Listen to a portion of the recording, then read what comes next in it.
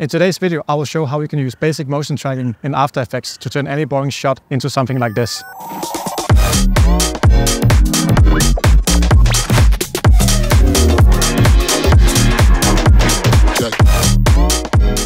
With motion tracking, you can basically attach any text or graphics to any moving object and have it following along the action. Here are the three most basic techniques that you can use in After Effects, starting with. So first, open up After Effects and import your footage. Now create a composition with settings that match your video. The easiest way to do this, if you're only working on one clip, is just to drag this clip down on this icon here and it will create a composition for you. Add any object that you want to attach to the final clip. I'll just use this callout composition which I created earlier. Next, right click and hit new, null object. The null object is basically an invisible layer that the tracking data can be attached to. Select your video footage layer, go to animation, track motion. Once you click that, a tracker point will appear on your screen. The outer box is the search region, which tells After Effects what area to search for the inner box, and the inner box is the feature region, which will look for a specific point. The small plus sign is the attach point for the tracker. In order to make the tracking more smooth, look for a part of the image which has good contrast on or near the area that you want to have your text or graphic tracked to. So we're going to choose this area here.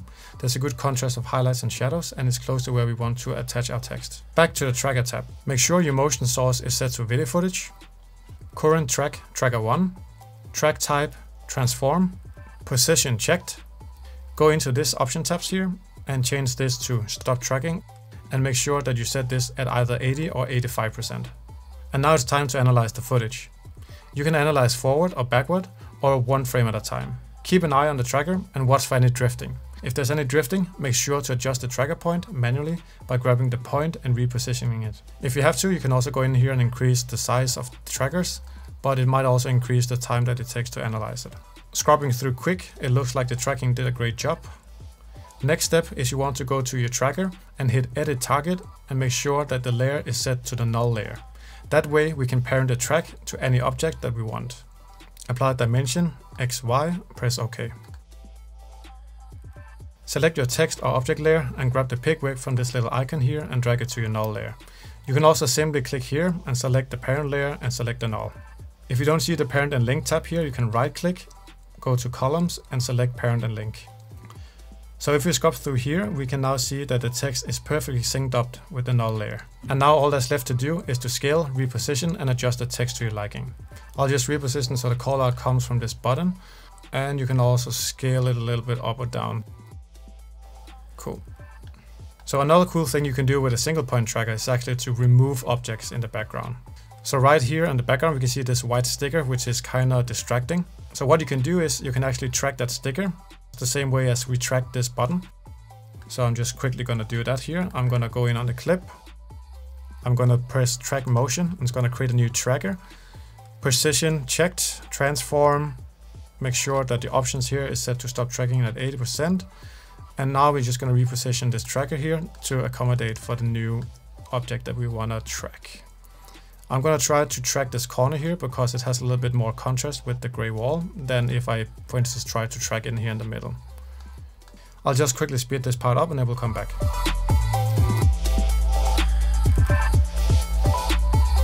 Alright, so after quickly adjusting a few things, the tracker now looks like this. So just like before, we can add a new null. I'm gonna right click, go to new, null object and I'm gonna make sure that I'm at the start of the clip here. I'm gonna go back to the tracker here and make sure that it's selected tracker 2 this time. And then I'm gonna press edit target and select null 2. Press OK, click apply and press OK again. So now again we have a null object which has the exact same data that we just tracked on the tracker. Basically what we want to do is we want to hide this. One way we can do this is actually if we take a screenshot I'm just going to take a screenshot of this area right here, like so. And then I'm going to import that into the composition. Alright, so I just imported the screenshot that I just took of the area right under the label here.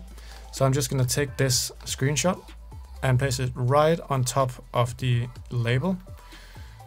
But as you can see right now, we have this issue where we have like a sharp edge around the layer.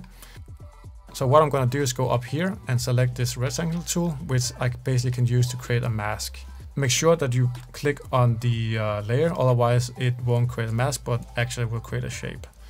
So I'm gonna just put this slightly uh, within the screenshot or within the layer like this. And now you can see down here, it has created a mask. I'm gonna click the arrow and then we can go on the feather and just give it a little bit of feathering so it kind of blends a little bit better in. So now you can see it's actually hiding the label as intended. But as you can see here, we have one little issue and that is of course that the layer right now is going on top of the subject here.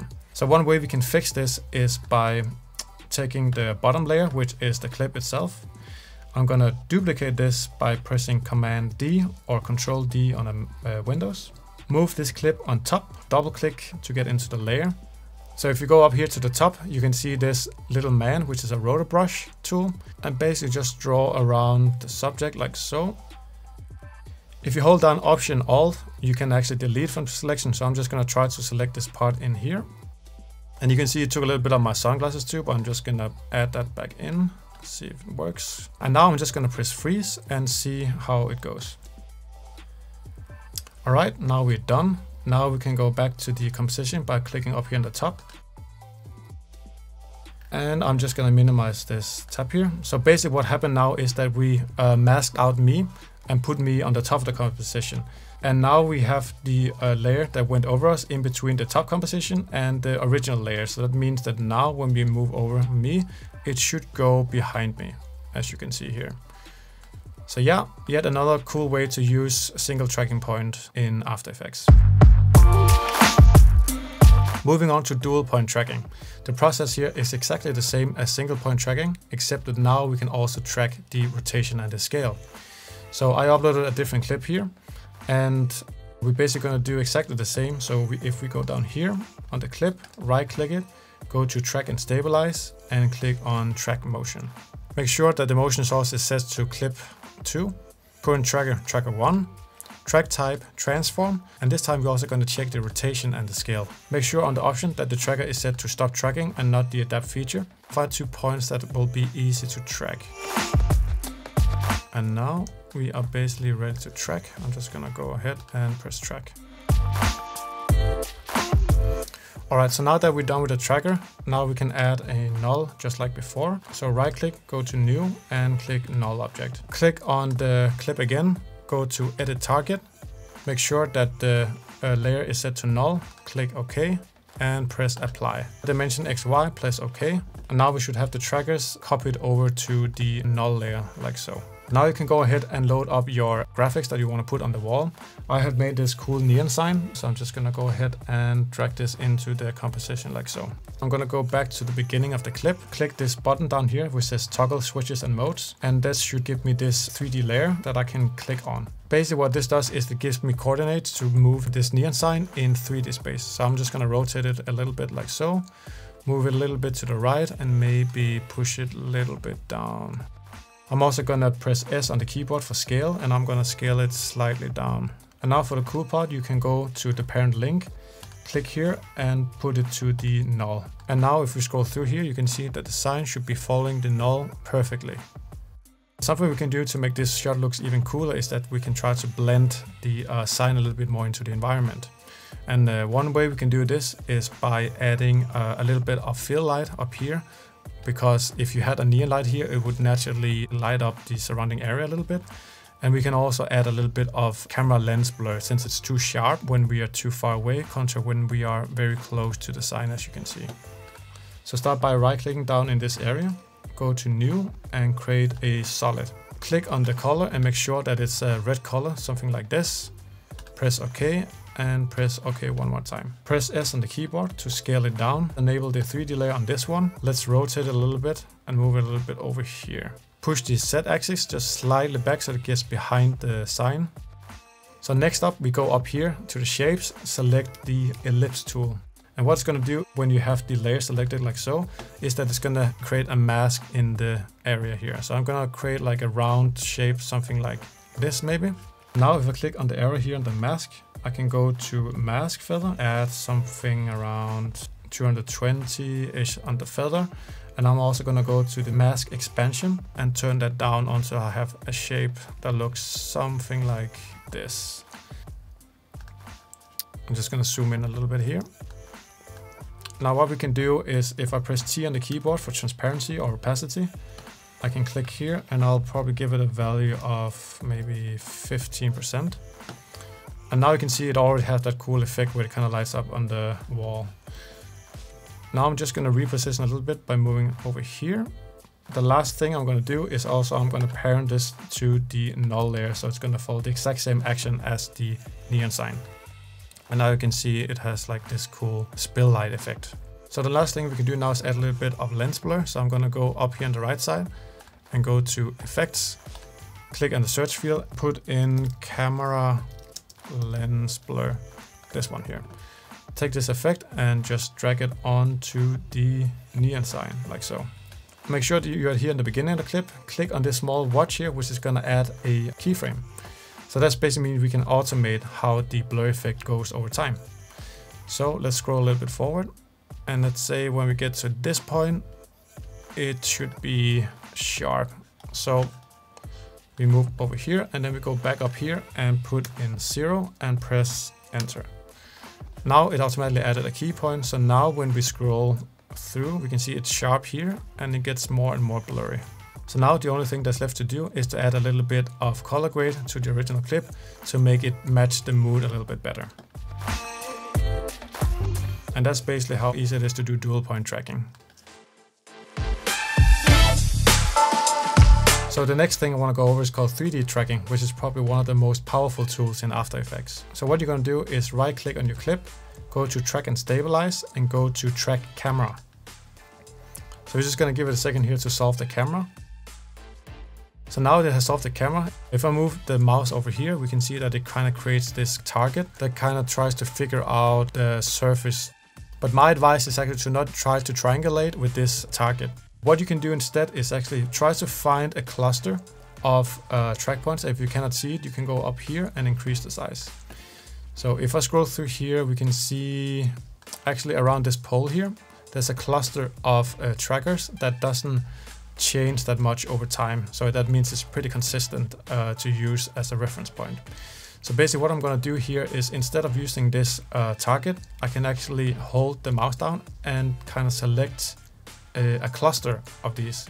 So this gives a much more accurate data reading, which you can attach any graphics or object to. So after I selected these, I'm going to right click and press create null and camera.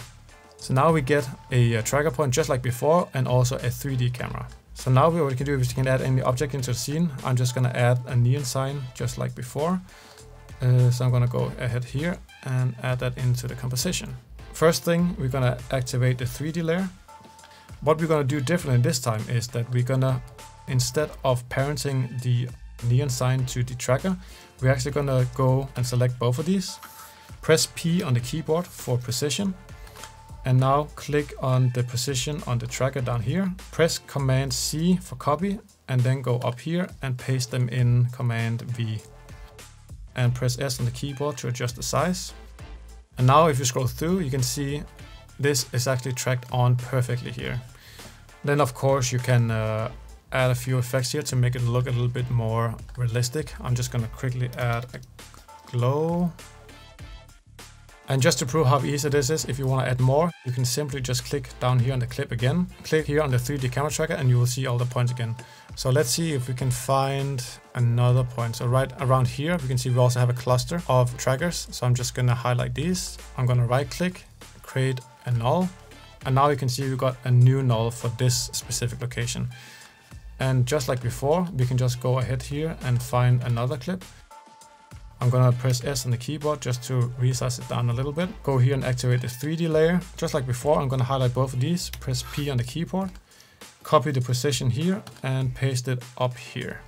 So all that's left to do is to reposition this a little bit, change the size a little bit here, press down here on the toggle and switch, go to uh, the mode and select instead of normal, go to uh, lighten. And just like before, I'll add a camera lens blur to both of these. Only thing that's left to do is again add a little bit of color grade. I just decided to make this scene dark and then you have something like this. that's basically how easy it is to add any clip with 3D tracking in After Effects. And that wraps up the video for basic motion tracking techniques in After Effects. Osaka? Alright, that's all for today. Please subscribe to my channel and hit that like button. See you in the next video.